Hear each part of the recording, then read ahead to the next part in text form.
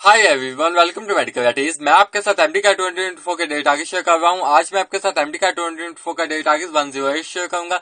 सबसे पहले बिस्मिल्लाहिर्रहमानिर्रहीम एमडी का ट्वेंटी फोर के डेट आगे वन ज़ीरो एट में जो सबसे पहले सब्जेक्ट हम डिस्कस करेंगे, वो हमारे पास है बायोलॉजी का। बायोलॉजी में हमने जो चैप्टर स्टार्ट किया है उसका आज हम एक मोस्ट इम्पोर्टेंट टॉपिक कवर करेंगे न्यूट्रिशन ऑफ़ बैक्टीरिया इसमें जो की कॉन्सेप्ट आप कवर करेंगे, वो सबसे पहले हाइड्रोटॉपिक मोड ऑफ़ न्यूट्रिशन के बारे में आप कवर करेंगे।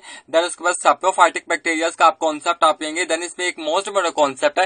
ह्यूमस का उसको आपने जिस तरीके से कवर करना है पैरासिटिक बैक्टीरिया के बारे में आप कवर करेंगे। देन उसके बाद ऑटोट्रॉपिक मोड ऑफ़ न्यूट्रिशन के बारे में आप कवर करेंगे। इसमें सबसे पहले आप फोटोसेंटेटिक बैक्टीरिया के बारे में आप कवर करेंगे। देन उसके बाद कीमोसेंथेटिक बैक्टीरिया के बारे में आप कवर करेंगे। देन आपके पास एक मोस्ट इंपोर्टेंट टॉपिक है रेस्पिरेशन इन बैक्टीरिया इसमें जो आपकी कॉन्सेप्ट आप कवर करेंगे, इसमें आप aerobic bacteria anaerobic bacteria facultative bacteria and micro aerophilic bacteria के बारे में आप कवर करेंगे।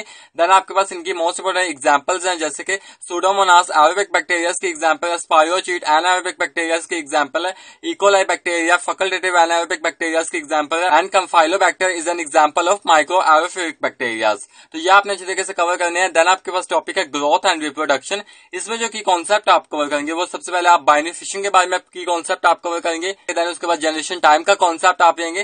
देन आपके पास मोस्ट इंपोर्टेंट चार फेजेस है, उनको आपने अच्छी तरीके से मेमोराइज करना है। वो आपके पास lag phase log phase stationary phase death and decline phase इनको आपने अच्छी तरीके से कवर करना है। देन आपके पास एक मोस्ट इंपोर्टेंट टर्म है कॉन्जुकेशन ये आपने अच्छी तरीके से कवर करना है। आज के आपके बायोलॉजी के तीन टॉपिक्स हैं। सबसे पहला आपके पास टॉपिक है न्यूट्रिशन इन बैक्टीरिया देन आपके पास है respiration in bacteria and last पे आपके पास है ग्रोथ एंड रिप्रोडक्शन इन टॉपिक्स को सबसे पहले आपने अपनी प्रोविंशियल बुक से कवर करना है देन इन टॉपिक्स को आपने तरीके से फ्राइडे की बुक से कवर करना है। ये है आपका बायोलॉजी का टारगेट वन देन हम केमिस्ट्री का टारगेट वन ज़ीरो एट की बात कर लें। देन हम केमिस्ट्री के टारगेट को डिस्कस कर लें। इसमें जो चैप्टर हमने स्टार्ट किया है लिक्विड्स का, उसका आज हम एक मोस्ट इंपोर्टेंट टॉपिक कवर करेंगे। लिक्विड क्रिस्टल इसमें जो सबसे पहले आपकी कॉन्सेप्ट आप कवर करेंगे तो सबसे पहले आप इसकी डेफिनेशन को अच्छे तरीके से मेमोराइज करेंगे।